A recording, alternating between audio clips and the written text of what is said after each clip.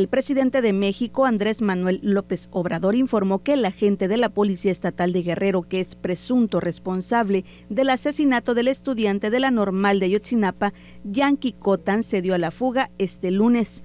El mandatario aseguró que se está llevando a cabo una investigación exhaustiva para esclarecer los hechos. Se está este, atendiendo.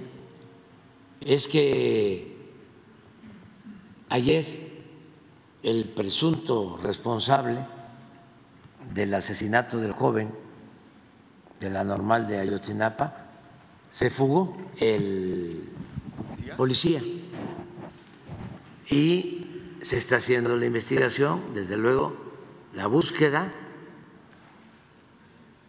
y se van a fincar responsabilidades.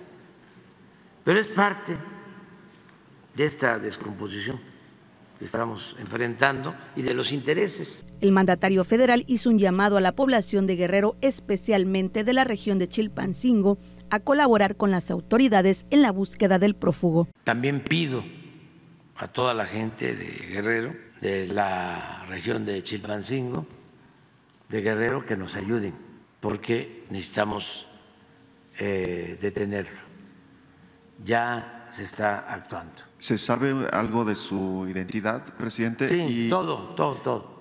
Y, estaba este, en un arresto administrativo, pero eh, no se cumplieron los protocolos y se está haciendo la investigación.